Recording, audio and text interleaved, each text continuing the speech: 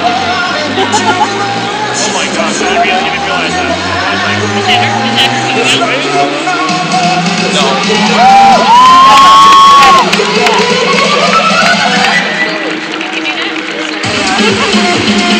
Can you that?